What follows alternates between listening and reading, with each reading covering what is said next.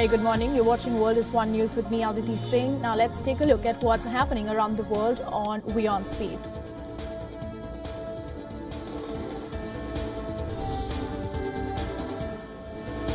US President Donald Trump has left for Washington, D.C. for a rally in Michigan ahead of White House Correspondents Association dinner. Trump, who has feuded with several media personalities and organizations, is not attending the annual black tie dinner for the second straight year. Last year, Trump was the first U.S. president to skip the event in 36 years. Most officials in his administration also snubbed the dinner.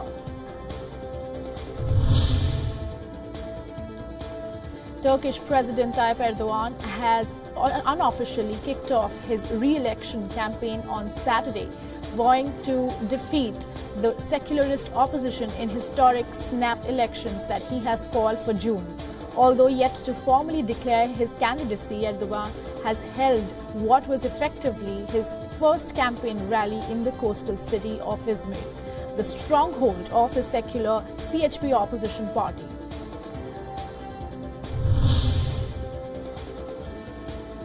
Armenian opposition leader has rallied in his hometown of Ijevan and called for more demonstrations against the country's ruling elite days before the South Caucasus nation's parliament is due to pick a new prime minister. Armenia's ruling party has said that it would not put forward any candidate for prime minister to avoid stoking tensions after more than two weeks of street protests.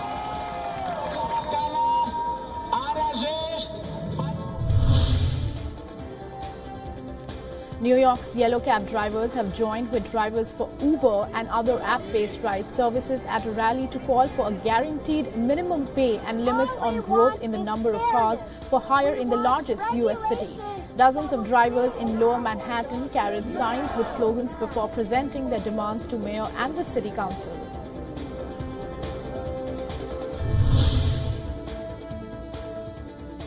Mourners for Alfie Evans, the 23-month-old British toddler who, gave, who grave, whose grave illness drew international attention, gathered to release balloons hours after his father said he had died.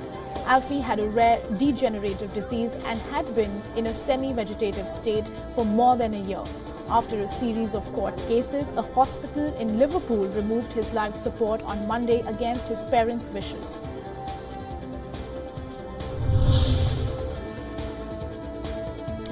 Houthi leader Abdul Malik al Houthi has said that the killing of a top official of the movement would not split its ranks.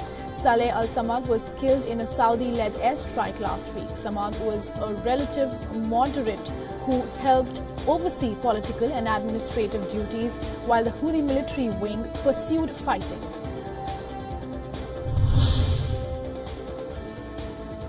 Thousands of Yemenis attended a funeral of top Houthi official Saleh al-Samad, who was killed in a Saudi-led airstrike last week.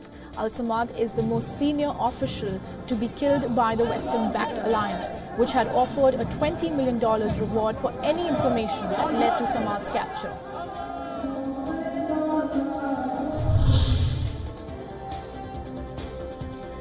Airstrikes by the Saudi-led coalition hit near a funeral rally for a senior Houthi official in Yemen's capital Sana'a. There were no reports of casualties during the burial of Saleh al-Samad, the president of the political body which runs Houthi-controlled northern Yemen. In a video shot by one eyewitness, a missile is heard incoming before an explosion erupts on the margins of the rally.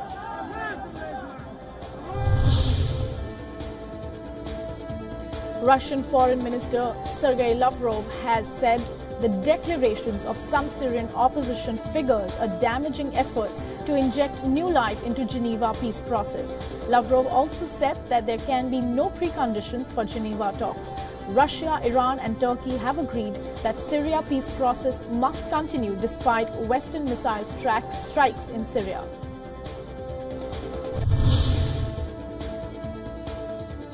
Russian Foreign Minister Sergei Lavrov also emphasized that Russia, Turkey and Iran need to help Syria's government to clear the country of terrorists. Lavrov said Russia has always condemned the use of chemical weapons regardless of the victims or the culprits.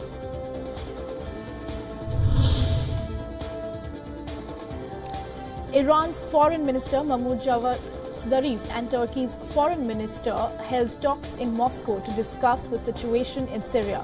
The two leaders also joined Russian Foreign Minister Sergei Lavrov to discuss a range of regional and international issues.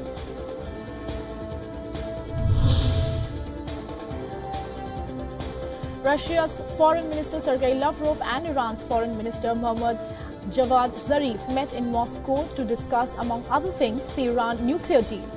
Both sides expressed concern about the future and stability of the Joint Comprehensive Plan of Action on the Iran nuclear program.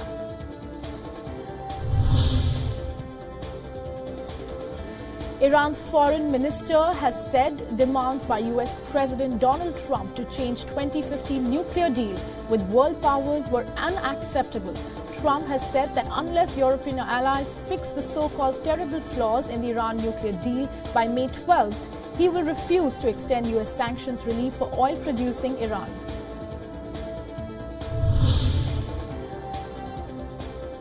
The Syrian army and its allies engaged in a fierce battle with ISIS terrorists in an enclave south of Damascus. Tanks were seen rolling across an open area of fields to the edge of the enclave, which includes parts of Al Qadam district, Al Hajar al Aswad, and the Yarmouk Palestinian refugee camp.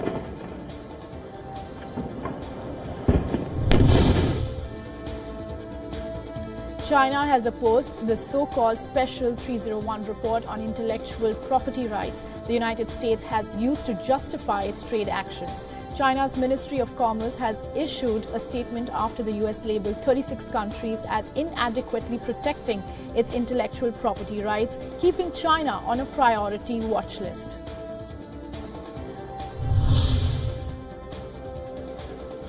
Chinese President Xi Jinping has stressed on innovations in core technologies during an inspection to the optics valley of Chinese city of Wuhan. The Chinese President Xi emphasized that China needs its high-tech enterprises to speed up innovations and master more key technologies with proprietary intellectual property rights so as to gain dominance in the development of relevant industries.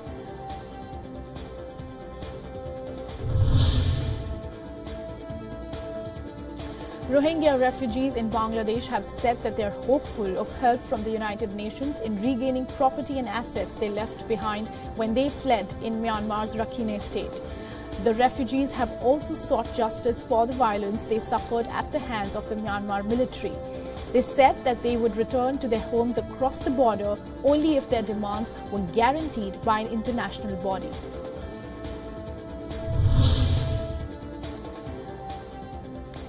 UN Security Council envoys began a four-day visit to Bangladesh and Myanmar to see firsthand the aftermath of a Myanmar military crackdown that was denounced as ethnic cleansing of Rohingya Muslims. The envoys are due to meet Bangladesh Prime Minister and Myanmar's de facto leader Aung San Suu Kyi and travel to Rakhine state where the violence erupted eight months ago. Myanmar denies the accusations of ethnic cleansing.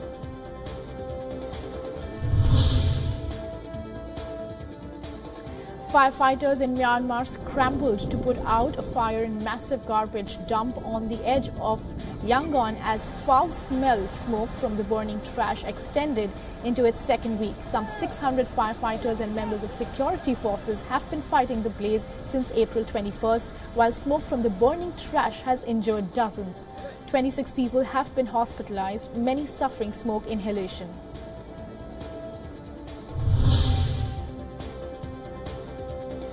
U.S. Secretary of State Mike Pompeo arrived in the Saudi capital for the first leg of his trip to the Middle East, where Iran is likely to be on the agenda. The former CIA director was greeted by Foreign Minister Adel Al Jubeir at King Salman Air Base in Riyadh. The State Department said Pompeo will also visit Jordan and Israel during the weekend after attending a NATO meeting on Friday in Brussels.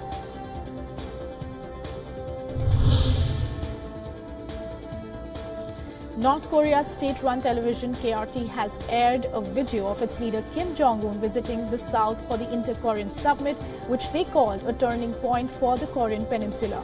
The video started with what is believed to be Kim's convoy passing the North Korean side of demilitarized zone and then showed Kim's activities in the South on Friday.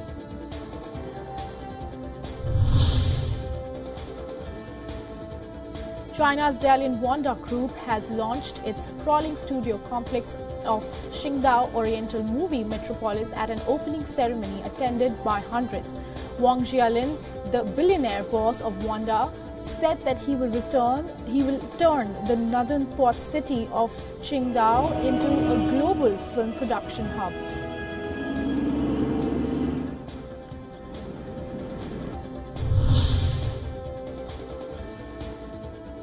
Chinese animal protection authorities are conducting the country's first ever general survey of black snub-nosed monkeys in southwest China's Yunnan province. The monkey is an animal under the state first level protection. The dense woods along the Rincha River in Yunnan are home to reportedly more than 2,000 black snub-nosed monkeys, two-thirds of the species' total population worldwide.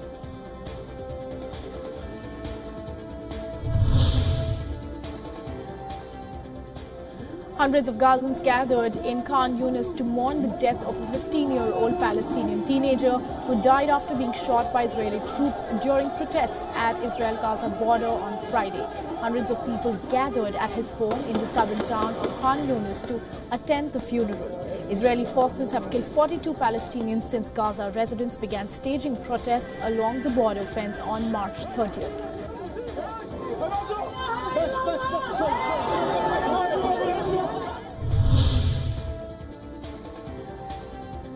A statue for women taken as wartime sex slaves during World War II went missing from its post in the Philippines capital of Manila. The statue was found missing Saturday morning with only an excavator at the site. Local media reported a similar excavator was previously seen parked beside the statue last week. A spokesman for Manila City Hall said that they did not order the removal and that the statue is not in their custody.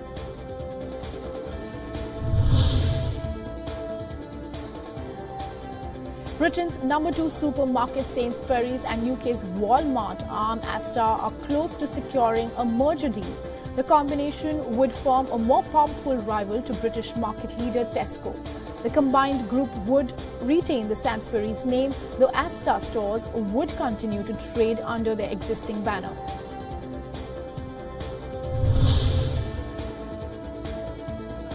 Sumo wrestlers paraded around the wrestling ring at a temple in Tokyo holding up wailing babies in a ritual believed to bring food to bring good health and ward off evil. Around 160 babies took part in the crying sumo ceremony which dates back four centuries. Similar events are held at temples across Japan. Participants have to have been born in the previous year and are chosen through a lottery.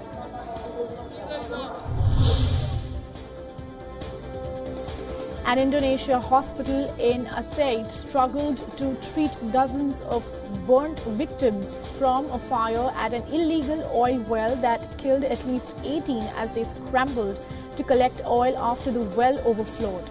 Firefighters struggled all day to put out the blaze in the northwestern province and were still working as darkness fell. The head of police said that the fire might have been sparked by a careless smoker.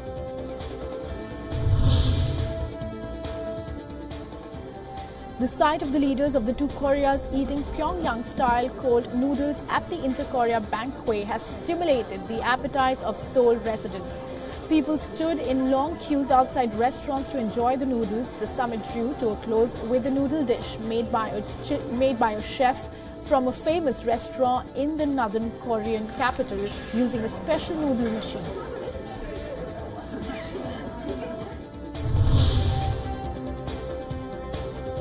Foreign ministers from the 10 member states of the Association of Southeast Asian Nations have welcomed the positive developments on the Korean Peninsula. The ministers who were in Singapore for a meeting ahead of the 32nd ASEAN Summit made the remarks in a joint statement on the bloc's official website following the meeting.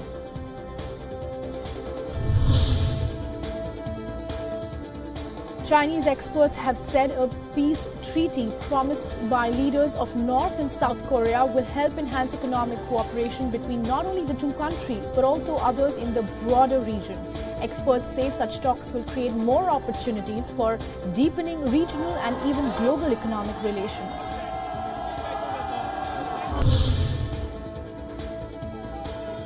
Nicaraguan Catholic faithful took part in an open-air mass to demand the end of violence in their country. This comes after a week of protests and clashes with police that left at least 43 people dead. Meanwhile, university students at the forefront of anti-government unrest in Nicaragua have issued conditions for talks with the government of President Daniel Ortega.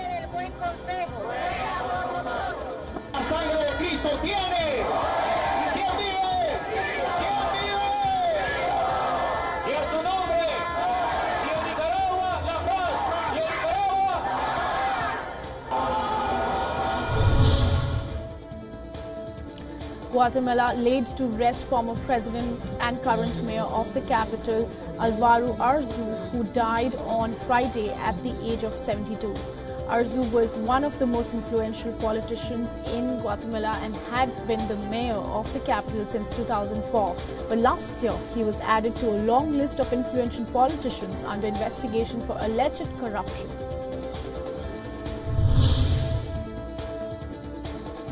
Picasso's painting, the uh, Mosqueta Verde, has been bought by 25,000 online buyers.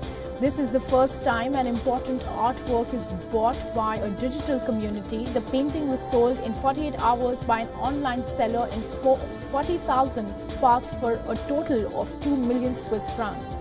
Uh, this is not the first time Swiss citizens gather to buy a piece of art.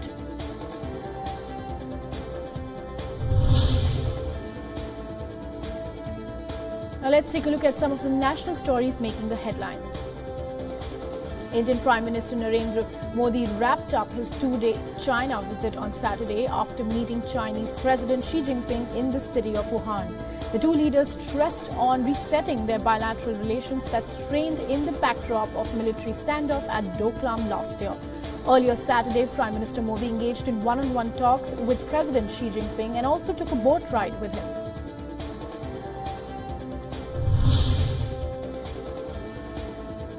Authorities of the Golden Temple, the holiest shrine of Sikhism in Amritsar, are constantly working to help in providing some relief to devotees from the scorching summers. The, Shirmon, uh, the Shiromani Gurudwara committee responsible for upkeep of the temple has made special arrangements for the devotees by installing special jute carpets, cool drinking water and special temporary shades with fans aiming to bring some respite to the devotees. India's Border Security Force and Border Guards Bangladesh held a joint retreat ceremony in Fulbari town of West Bengal. The joint drills by the BSF and Border Guards Bangladesh had been going on for the last few years. Hundreds of spectator spectators were present at the retreat ceremony, which was jointly inaugurated by Director General of BSF and Border Guards Bangladesh.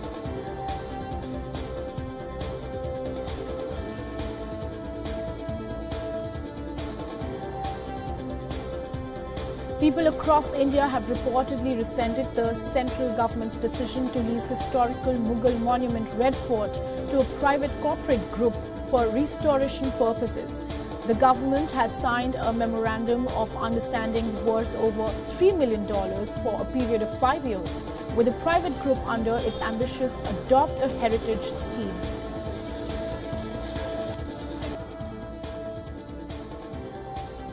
American production houses Annapurna and Plan B have acquired the rights to produce a film based on how reporters Jodi Kantor, Megan Twohey and editor Rebecca Corbett of the New York Times broke the Harvey Weinstein scandal story, the biggest Hollywood and the world has seen in decades.